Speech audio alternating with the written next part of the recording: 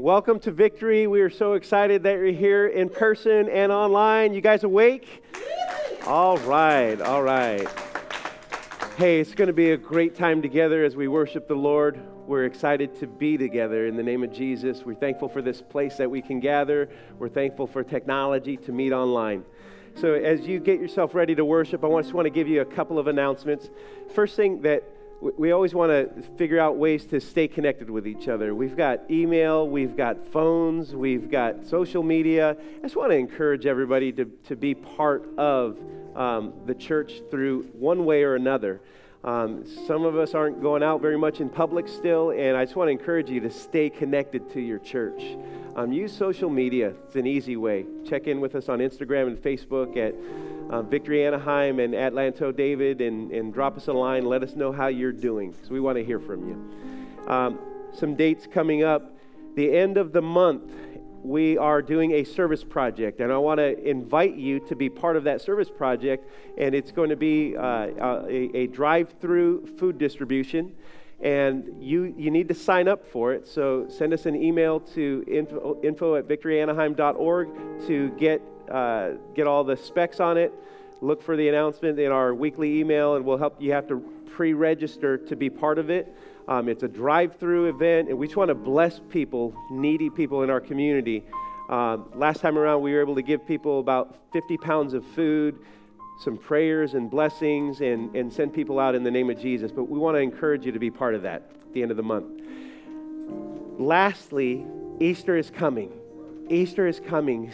April 4th is Easter. Let's make it a special day. Let's make it a wonderful time for God's people to be together and share in His goodness. I want to encourage you to be part of our, our Easter festiv- festivities. We're even having the day before a, a, a drive through uh, uh, meetup with. Um, uh, candy and, and, and eggs and meet the Easter Bunny and that's going to be on that Saturday before. So lots going on, and we want to encourage you to uh, get involved with it. So God bless you. Rise to your feet. Let's worship the Lord together.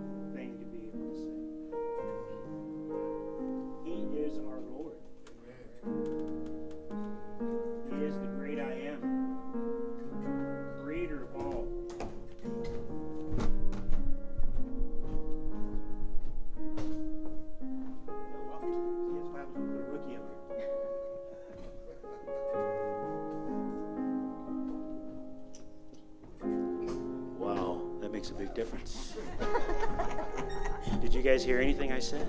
All right, good, good, good, good. So I won't start over again. I'll, I'll spare you. What a great thing it is to be able to say, He is our Lord.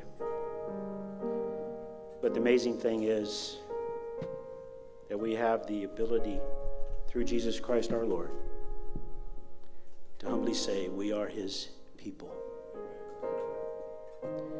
his children. Do me a favor and pause just for a second. Just a few short moments. Take that in. We are his children. As we ponder, collectively ponder the miracle of being be able to be called a child of God, or perhaps either here or out there seeking to become a child of God today. Oh, we pray so. we would ask that you join us in the, next song, which wonderfully weaves the entire gospel, canvases it together, describing the entirety of the gospel from start to finish this canvas consists in this one song our life before God, His death on the cross, His burial, and His glorious resurrection. And life after receiving God comes next in the song. It lets us look at His never ending mercy, His boundless love so, once again, we would ask that you please join us as we sing of Jesus Christ, who is our living hope.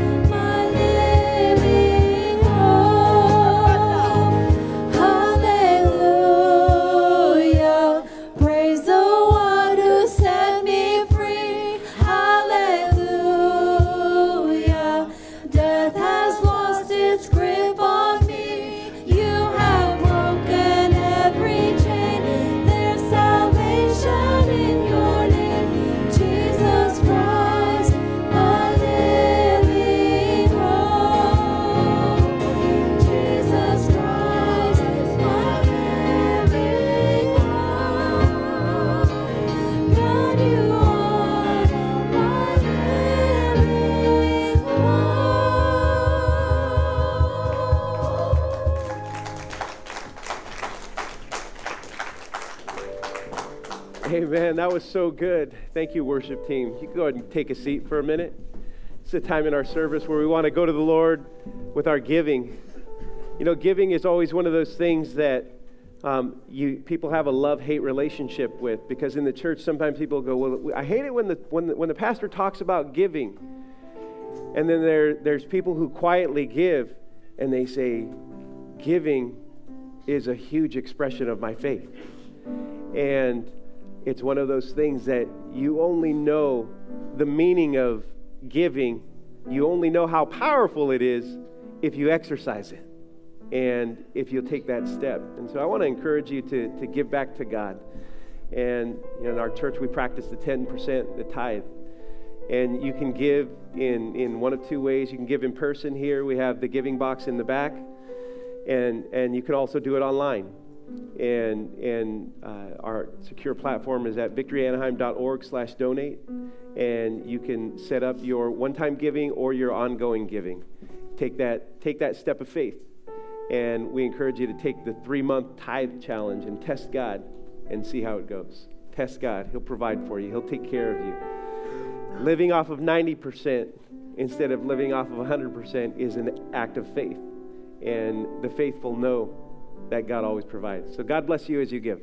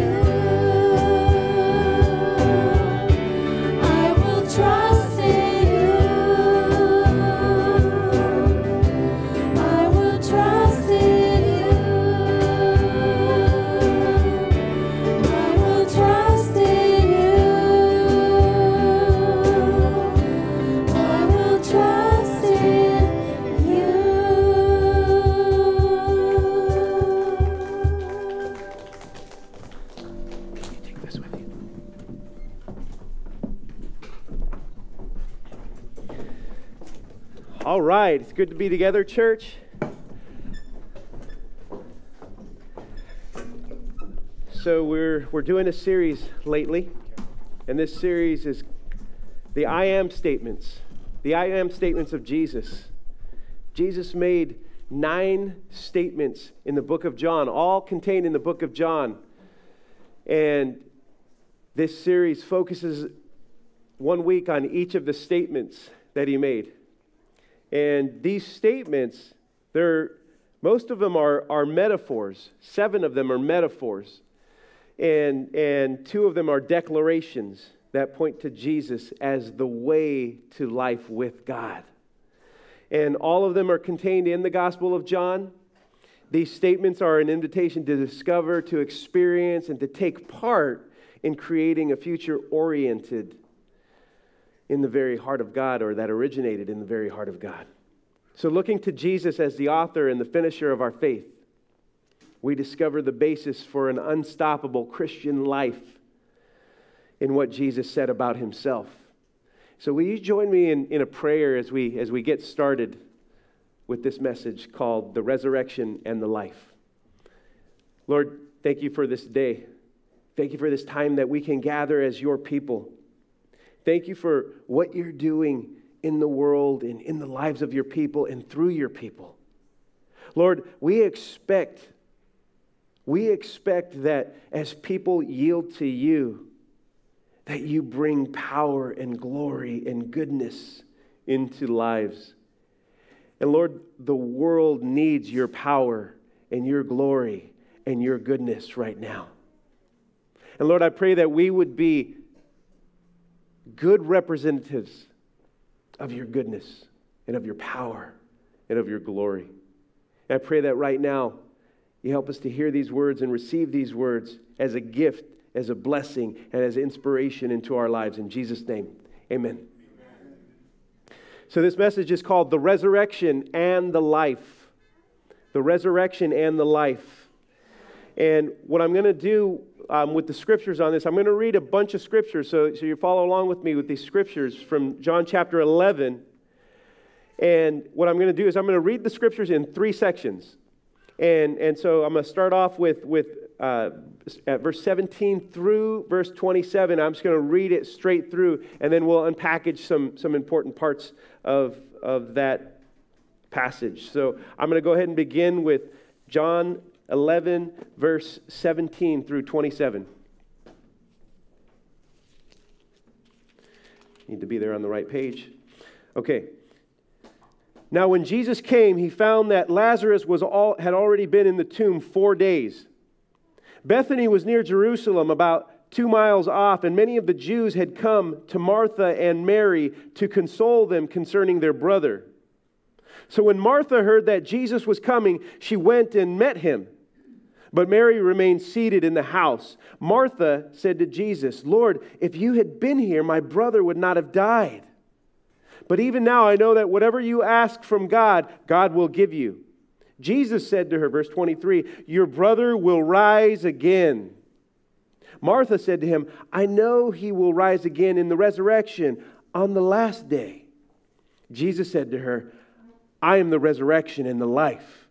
Whoever believes in me, Though he die, yet shall he live. And everyone who lives and believes in me shall never die. Do you believe this? She said to him, Yes, Lord. I believe that you are the Christ, the Son of the God, the Son of God who is coming into, who is coming into the world. So this, this experience from Jesus' life, this powerful experience, I, I think this statement of the nine may be the second most powerful of the nine. We'll save the most powerful for Easter. We'll save the most powerful for Easter. But, but, but this one, this one is the hinge of Christianity. This one, Jesus said, I'm the resurrection and the life. Where there is death, I bring resurrection. Where there is no breathing, I bring life. Where there is deadness, where there is death, I bring power, glory, and life. And so, so, so this one right here is the very hinge of Christianity because, because if Jesus did not resurrect himself, then what are we doing here? All of, his, all of Christianity hinges on Jesus rising from the dead. And Jesus said right here, I am the resurrection. And, and here, what we get in this first message, in this first one, we get Jesus giving us a precursor to Easter. He's given us a preview, just a little snapshot. But man, this is a good snapshot. This is a good snapshot. Almost as good as the real thing, almost as good as the big day. And so, so um, what, what had happened was, was that Lazarus, one of Jesus' friends, not just some stranger, not just an acquaintance, but one of Jesus' close friends. He was one of his disciples, but not one of the twelve. And, and Lazarus was sick, and Jesus was away in another town. And Mary and Martha sent word to Jesus. They, they couldn't text him, they couldn't even send a mail carrier. They couldn't send FedEx or UPS to bring their package, to bring their letter. They had to send a person to go to Jesus and say, Jesus, your dear friend, our brother Lazarus, is very ill. Please come. Jesus, when he got the message, you could read, I'm not reading the whole chapter, that's earlier in the chapter, chapter 11 of, of, of, of the book of John. But, but when Jesus got the word, he said to the other disciples who were with him, He said, I'm not going yet. Lazarus is very ill, but I'm not going yet. And he stayed another two days. And two days later, he said to his disciples, Lazarus died. Lazarus is asleep. And he said, and he goes, but I'm going to go so I can wake him up. And the disciples, the disciples, they said, well, Lord, if he's asleep, when he's sick, it's good for him to be asleep. He's going to wake up. And Jesus said, no, no, no, no, no. You don't get it. Lazarus is dead. And they said, oh, okay. And they said, but Jesus, remember, all the Jewish leaders, the Pharisees, they want to kill you. They just tried to kill you. But Jesus said, Because my time has not come, no one can take my life. And, and, and then, and then, and then, this was where Thomas, where Thomas said one of the bravest things he ever said that's recorded in Scripture. That's where Thomas had said to them, to, he said, he said, Well, well, if, if Jesus is going to die, let's go with him. We'll die with him. Let's go. And so they went to Judea and they set out to go wake up Lazarus. And then we get when he when he when when he's a ways off, he's not even in the town yet. Martha heard that he's coming. We just read this. Martha heard that he's coming, and she runs out to him. And, and, and it, it, it doesn't say, you know, Martha doesn't, it doesn't say she gave him a hug. It doesn't say, say she, she, she went over and embraced him. It says, first thing is Martha showed up to him. She said, Jesus, if you had been here, my brother would not have died. Why did you wait? Martha, like most people, saw death as finality. Death is final. I was reading a little bit from Sam Harris, who Sam Harris is, is a well known atheist. He's one of the new atheists, they call him, because Sam Harris does, does, does he, he presents a, a view of the world that, that includes what, what many critics of atheism have, have, have come to, to, to be their biggest criticism of atheism, or one of them, is that there's, if, if there's no God, there's no morality. Because God is the standard of truth. And we receive our standard of truth and morality from God. So we look to God. And, and, and so it was C.S. Lewis who said, he said, look out in the world and you see a universal morality. People all over the world, it doesn't matter what country, what culture, everyone would say, Oh, a new life, a baby. That's a good thing. It's a beautiful thing. It doesn't matter. You don't have to translate to people and you don't have to say, like, hey, listen, when, when uh, ladies, when you have a baby and the baby comes out of you, it's, it's a precious thing. Every mama just knows and everybody in the family surrounds them and it's a beautiful thing. You don't have to be told and you don't have to be told that it's wrong to steal. You don't have to be told it's wrong to tell a lie. And you don't have to be told it's wrong to take a life. And you don't have to be told it's wrong to take what does not belong to you. These are standards that are universal that you find in the world over. Without anybody teaching them, they just are. Because morality is, is, is set in the hearts of man and women, and if we receive it, if we, if we, if we obey it, then we follow it. But, but Sam Harris, I was reading from him this week, and he said about death, thinking of death, he said, I teach my children how to value every day. He's one of the new atheists, and he believes that morality doesn't come from God, but that we create a standard of morality and then and it's taught and perpetuated amongst ourselves.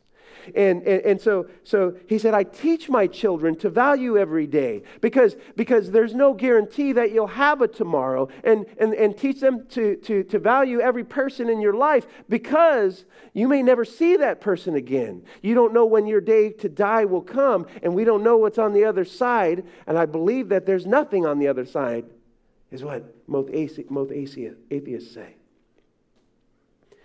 The finality of death the people that believe that, there's, that death is final are all over the world. But Christians, we believe something different about death. We believe something different. And that's what Jesus, with his interaction with, with, with Martha here, was about this very issue. Martha said, If you had come, if you had come, my brother would still be alive. Why didn't you come earlier, Jesus? Mar- you know, if can be used to condemn. If can be used two different ways. It can speak of possibilities, but it can also speak of condemnation. And many times people use if to condemn others. Many times people use if to manipulate behavior. And look, that's what Martha did here. Martha, Martha was feeling the pain, the loss, the sadness of losing her brother to death. And she knew, she believed, she had seen Jesus' power. She knew that he had the power to heal Lazarus. But she didn't know and she didn't believe, she had no inkling that Jesus could raise Lazarus after he died. But you know, if you read earlier in the chapter, Jesus said, He said, I'm, he said to his 12, he said to the 12, I'm glad that Lazarus died and I wasn't there. Because, because what's about to happen, I'm doing this so you can believe and so you can experience the glory of God. Amen. And so, so Lazarus died. And, and, and Martha and her sister Mary are grieving, and all these other people are, are surrounding them with love. These two sisters that, that, that, that they don't have husbands. It was them and their brother that lived together. And, and, and now their brother is dead. And so people surrounded them with love. So there are lots of people there that came around the, from the community. And, and, and Martha, her statement, if you had been here, was scolding Jesus. Jesus, if you had been here, my brother would still be alive. He's your friend. You loved him. If you had been here, he'd be alive. She was disappointed with his behavior. She felt let down that he did not come sooner, and she intended to, to, to, to make him feel her pain. Martha was putting Lazarus' blood on Jesus' hands. Lord, if you had been here, he would still be alive.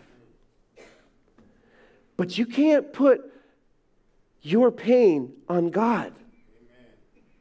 You can't blame God for your pain, for your suffering. You can't put manipulate God into feeling your pain for you. God will feel your pain out of compassion, But don't try to manipulate God. Don't try to blame God. Don't try to put your pain on God. You can't do that.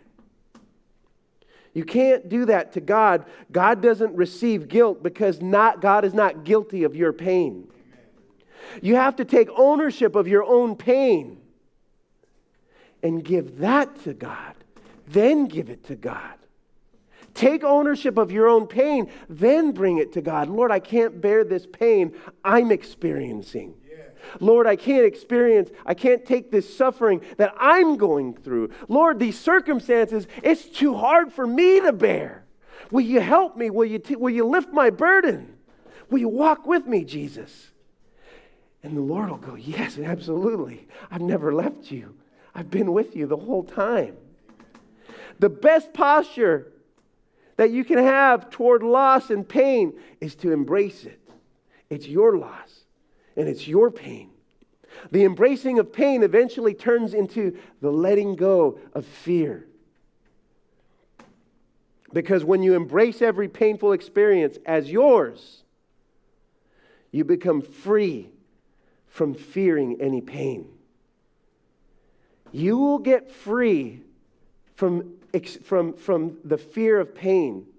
You will be free from the fear of loss if and only if you can embrace your pain as your own, your cross to bear, your pain to suffer through.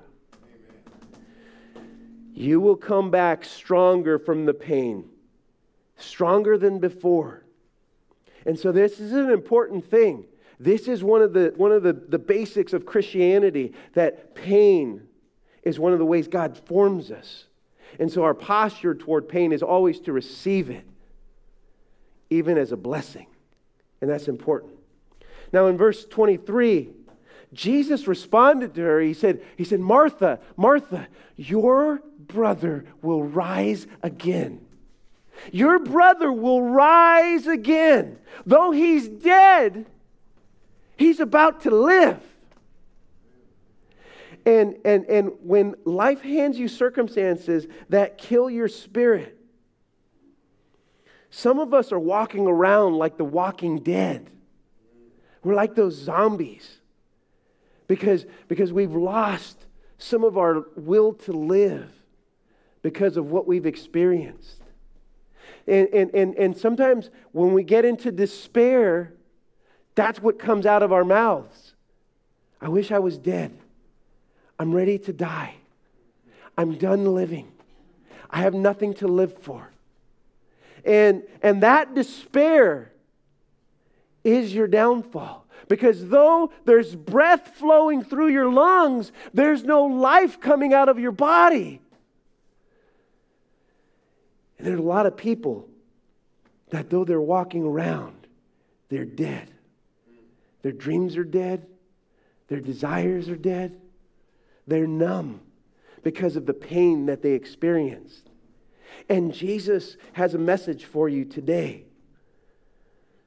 It's the same message that he gave to Martha that day when, she, when he said to her, Your brother will rise again you will rise again in Jesus. That's the message for today. And so in verse 23 through 25, this exchange of Jesus and Martha is one of the most significant personal conversations in Scripture. It's in the top five. This exchange that happens in verses 23 through 25 with, between Jesus and Martha is so powerful, but I'm going to summarize it for you where, where, where is what we already read it, but I'm going to give you a summary again. Jesus said to Martha, Your brother will rise again. Martha said, I know he will rise again in the resurrection on the last day. See, part of the Jewish faith believe that there's a day of resurrection coming when, when all the dead people will literally rise up out of their graves and live again. And, and so she said, I know that in that day he will rise up and live again. But Jesus, his response to that, when she said, I know that he will rise again in the resurrection and on the last day, Jesus said, I am the resurrection and the life. I am the resurrection. I am the life. Whoever believes in me, though he may die, he shall live. Everyone who lives and believes in me, Jesus said, shall never die. And then he asked Martha, Do you believe this? But Martha's answer, though it was truthful, it, feels like one of those answers that you give to someone when they caught you and you don't want to be like you don't want to admit that they're right and so you kind of go a different direction that is palatable.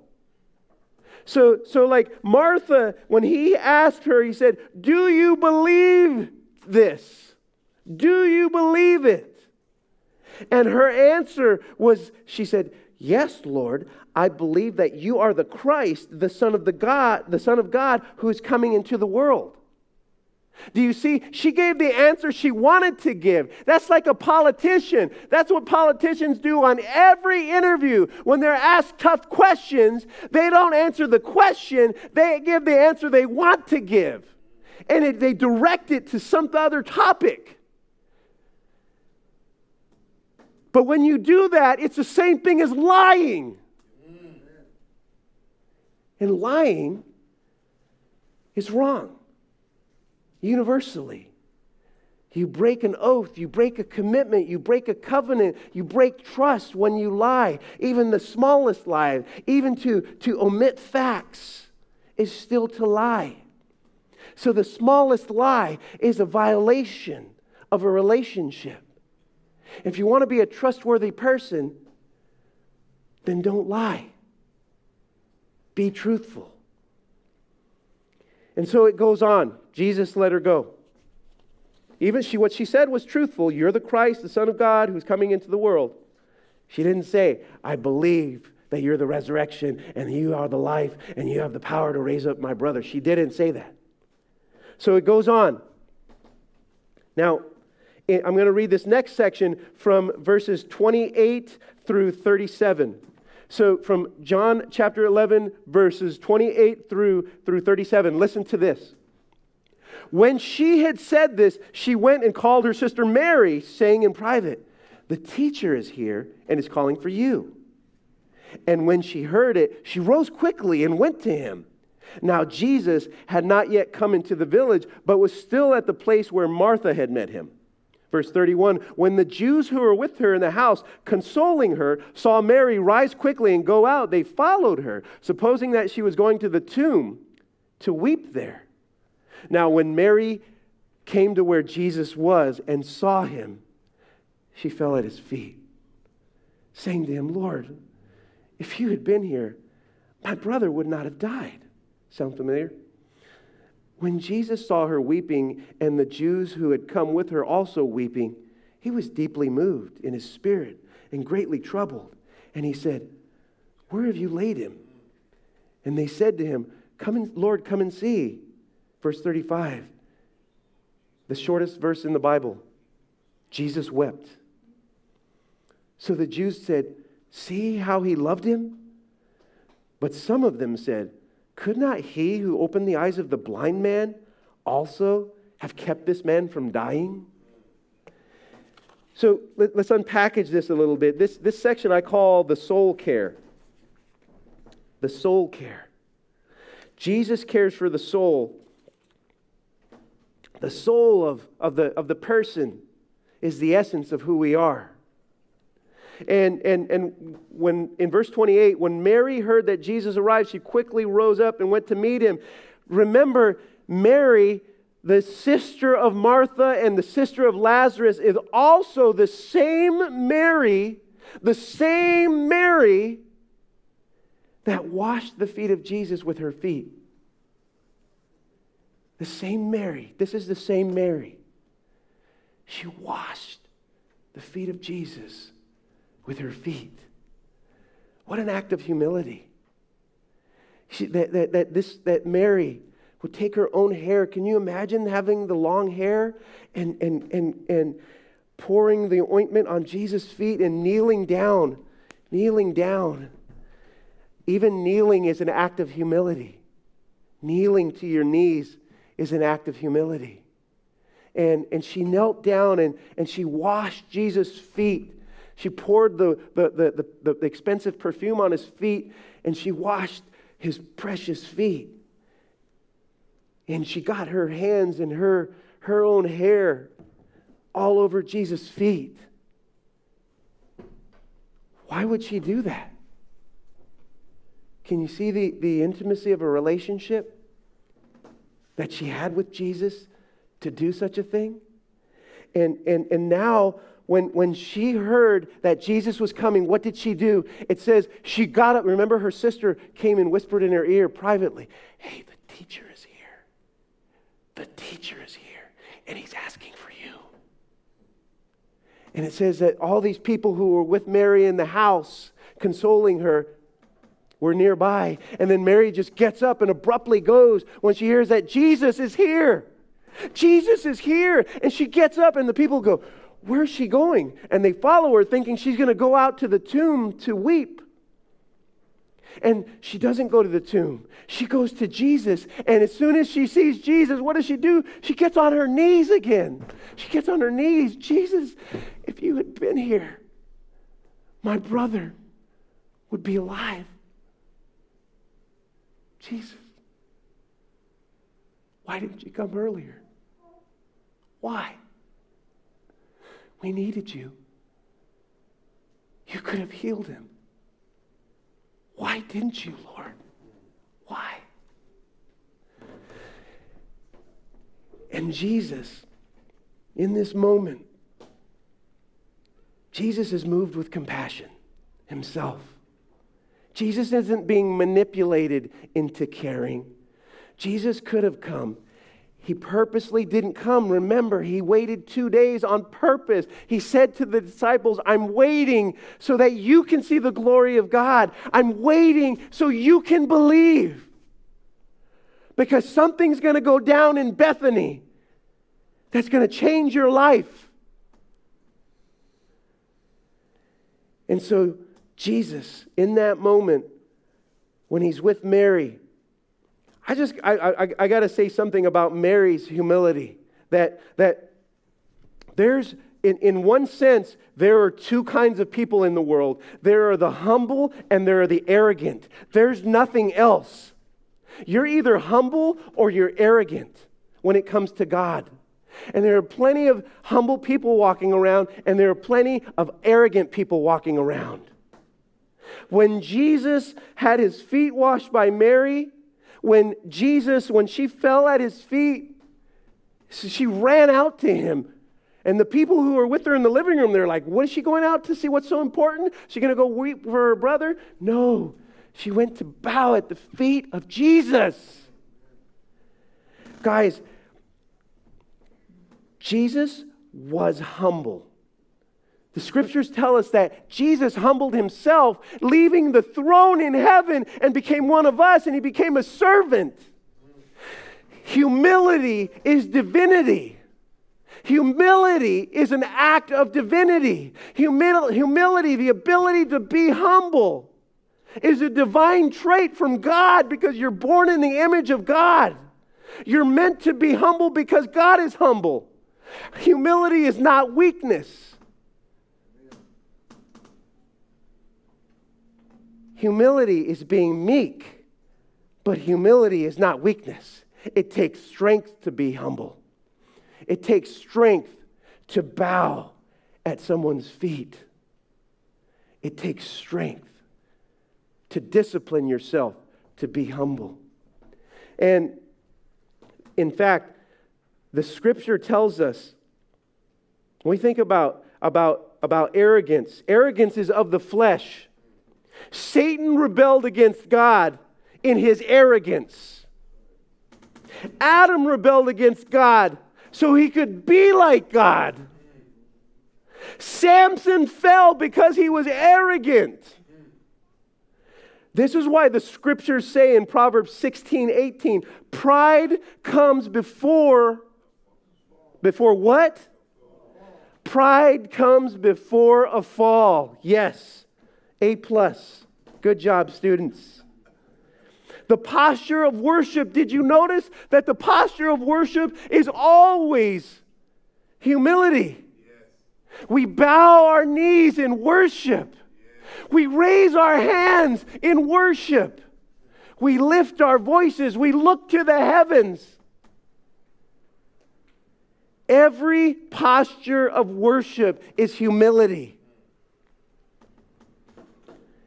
If you cannot bow at the feet of Jesus, you're still arrogant. You have not truly given yourself over to Jesus. We also have Mary saddened by Jesus' tardiness and her making her own if statement. But can you feel the difference in Mary's if statement? Because she's bowing at his feet, she's hugging his feet and weeping. Lord, I wish you had been here. She didn't know. She didn't know he was the resurrection. She didn't know yet.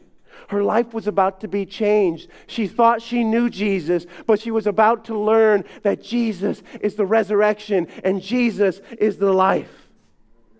When Jesus, in verse 33, when he saw that they're weeping, he was deeply moved and he was greatly troubled. Verse 35, Jesus wept. Jesus had compassion. People of God, people of God, listen to me, people of God. Don't be arrogant in any way.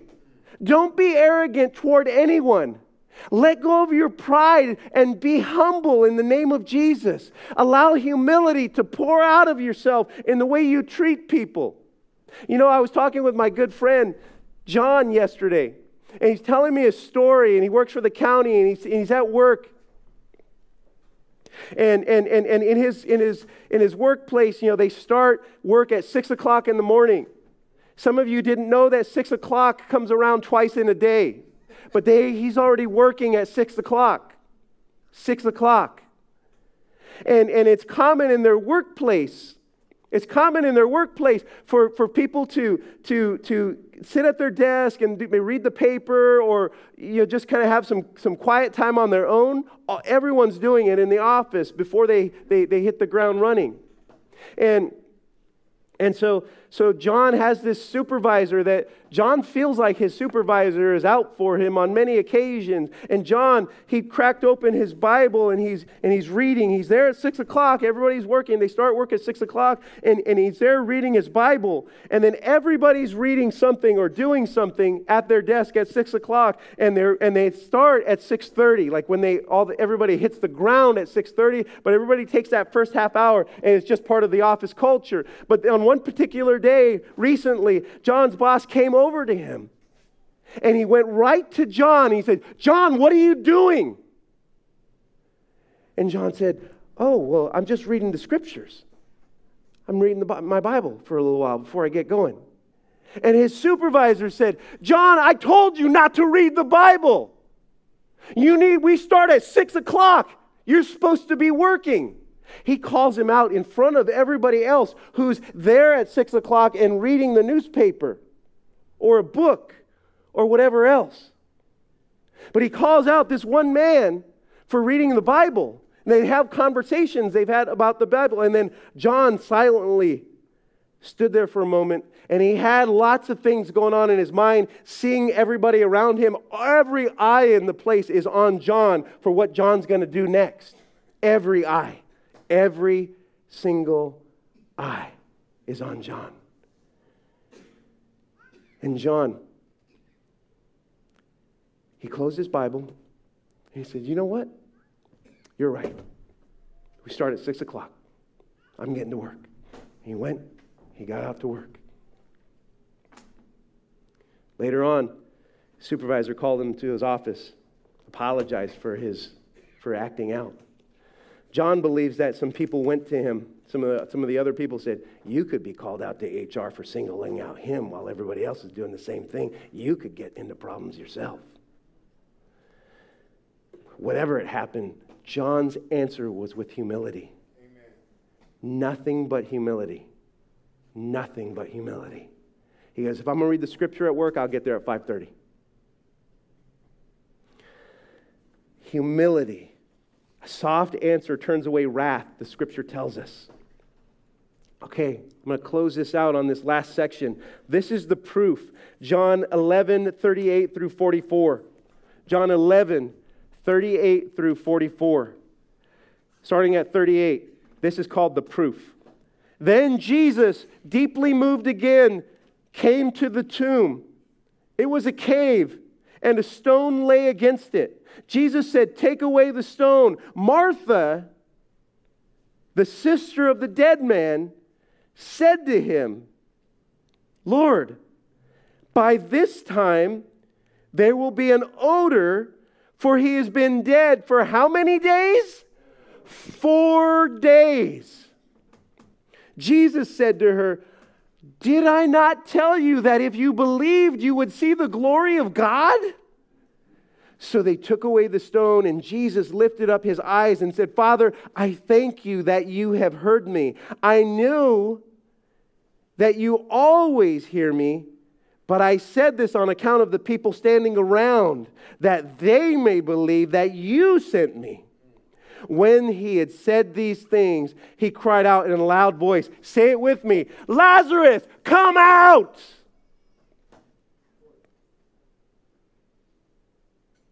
the dead man, the man who had died, came out, his hands and feet bound with linen strips, and his face wrapped with a cloth. Jesus said to them, Unbind him and let him go. Jesus said, I am the resurrection and the life, but now he proved it. He was a live, he made the living example out of Lazarus for what Jesus is. I'm the resurrection, and I pour out my resurrection power into Lazarus. Words matter, but actions give proof. Your words need to be backed up by your actions. That's what Jesus teaches us. One of the things that Jesus teaches us. When he said, Take away the stone, I want to point a couple of things out. The stone was in the way of what Jesus was about to do. Listen. When Jesus resurrects the dead, you don't want a stone in the way. You know what I'm saying? When Jesus brings the resurrection power into your life, you got to get the stones out of the way. You people aren't listening to me. Are you hearing me on this? You've got stones in your life, and the resurrection is waiting for you. Your life needs to be resurrected from the dead. Some of you are the walking dead, and it's time to raise up. You've been walking around dead because you've got forgotten dreams that you gave up on. But your dream is dead, but Jesus says, I am the resurrection. You, your faith needs to be resurrected. Your faith is hanging on by a little bit, a little string, a little thread. Your faith was dead, but in Christ, let it be alive today. You've lost your zeal for living, your zest for life, your, your desire to accomplish things in life. Maybe someone really close to you died, and that changed everything for you. When a spouse dies, it kind of has that effect where you've got to decide what am I going to do now? What does my life look like now? You have to reorient everything, don't you? Everything.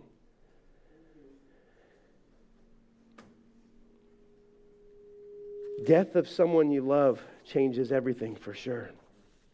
Do you know that the Bible tells us that our souls are dead without Christ? Our souls are dead. We're spiritually dead apart from God.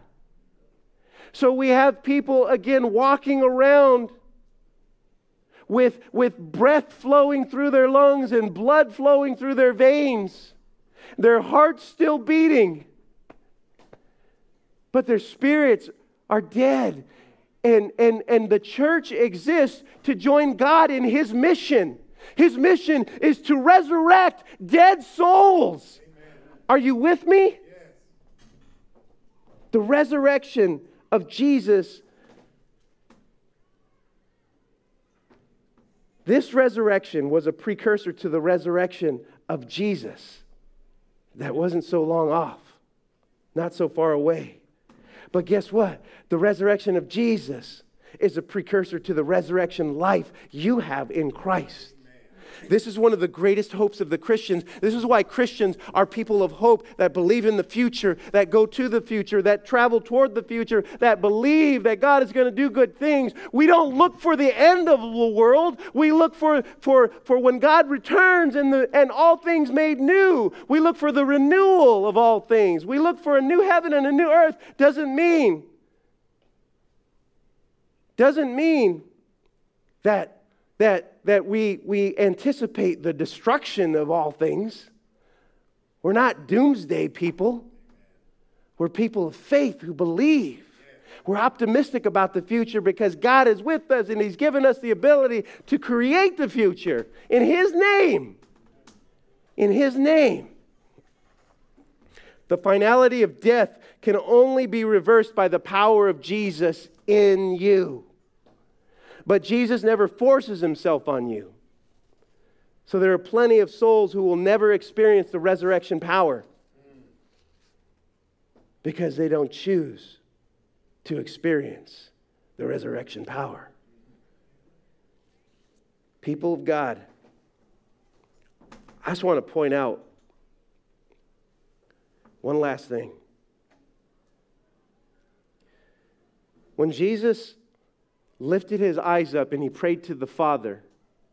Did you notice his posture toward the Father? He said, Father, Father. And with humility, he said, I know that you hear me. And I'm saying this for everybody else so they know that you hear me. And they know that I know that you hear me. And they know that you know that I know that you hear me.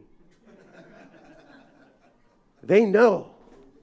I want them to know that you and I are together in this.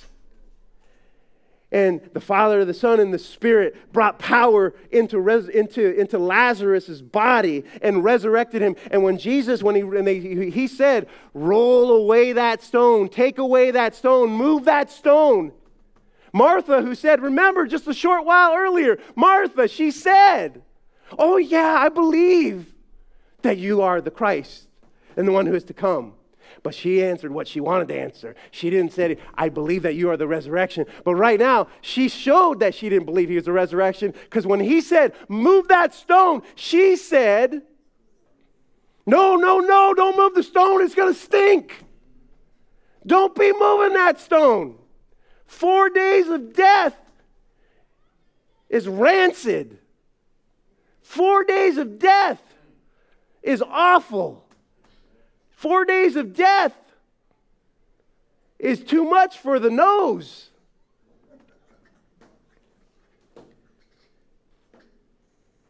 But Jesus was about to pour out power, and he said, Move that stone. And Remember, people, you've got some things that are stones in your life that are keeping you from the resurrection that you need to experience, the resurrection power that you need to experience. You need to remove those stones and you need to experience the resurrection. You need to come out of the tomb and walk to new life in Christ. What's holding you back from what God has for you today? What's holding you back from saying yes, Jesus, today? What's holding you back from obeying Jesus every day? You don't just obey God when it's easy for you, you don't just obey obey what Jesus says when it's convenient for you. You obey Jesus in the hard days, says everything about your faith. You obey Jesus when you disagree with God, it says everything about your faith. People of God, I want to close out this sermon.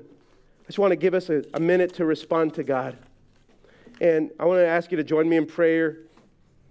Just bow your heads, close your eyes. Let's just take a moment to respond to God.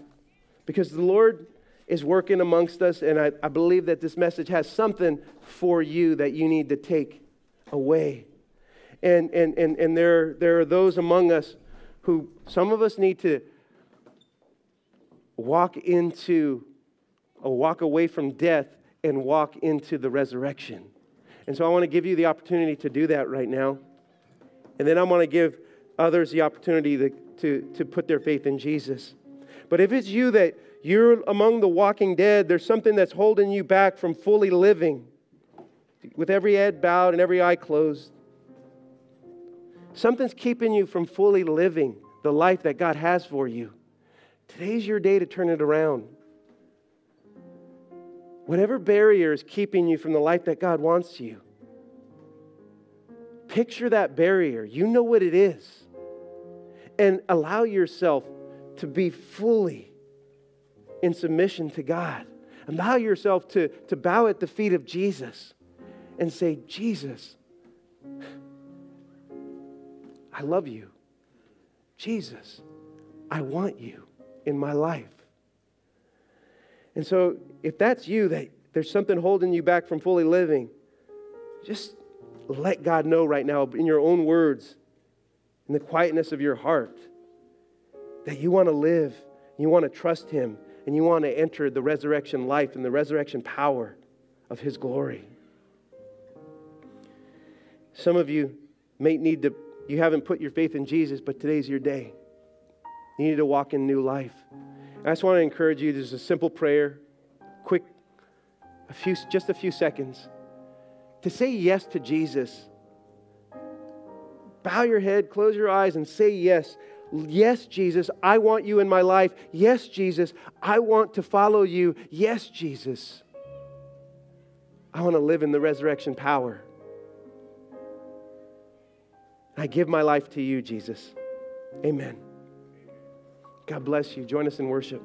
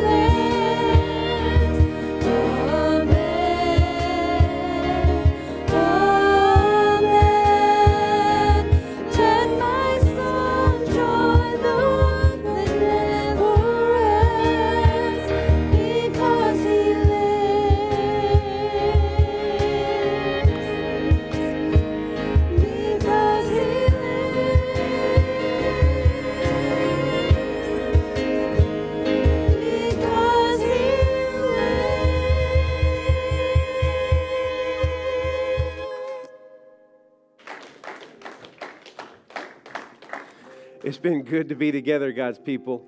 It's been good to be together. As we close out, I just want to say if anybody put their faith in Jesus, make sure and send us an email because we want to journey with you. Send us an email to info at victoryanaheim.org because we want to put some resources in your hands to help you follow God. Following God is not a following Jesus is not a an individual sport, it's a team sport and you got to make you got to say yes, you got to put yourself on the line and then you join a community of God's people. And so I want to encourage you to be part of the community and let us um, come alongside you as you walk with Jesus. And I want to send you out with this blessing God's people, if you've experienced the resurrection power of Jesus, you're among the privileged. But that privilege isn't something that you hold for yourself. That privilege is something that you pour out for others to receive the resurrection power of Jesus to live, there's a world that needs to experience it. Well, there's a world that's fallen apart, that's crazy. There's lunacy all around us because the farther that people go from God, the more irrational, the more insane their ideas sound, the farther you get from God. And so I want to encourage you to be a people that bring the resurrection power into the lives of, the, of those in your life. There are people that you know that need to experience Jesus' power of resurrection. God's people, go with that mission. Be that people in Jesus' name. And join us once more as we sing.